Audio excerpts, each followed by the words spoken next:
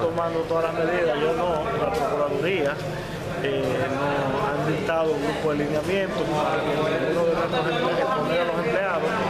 eh, y la- lo que dijo el señor presidente, ¿verdad? Hay unos lineamientos, estamos reunidos con todos los coordinadores, eh, porque hay personas que son vulnerables por la edad, eh, por la hipertensión, por la diabetes y por otras condiciones, ¿verdad? Y estamos tomando las medidas, ustedes que hay higienizantes, alcohol, jabón en todos los baños, para tratar de que nadie, ni exponer el personal que trabaja con nosotros, mucho menos exponer a las personas que vienen a buscar el servicio. Estaremos dando el servicio desde las 8 de la mañana, como siempre, hasta las 3 de la tarde. Tomando las medidas. Ya daremos los, los detalles. ¿El personal estará trabajando igual?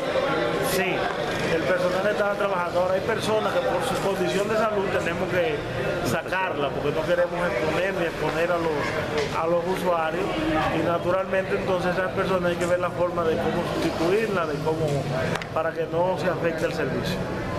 Muchas gracias.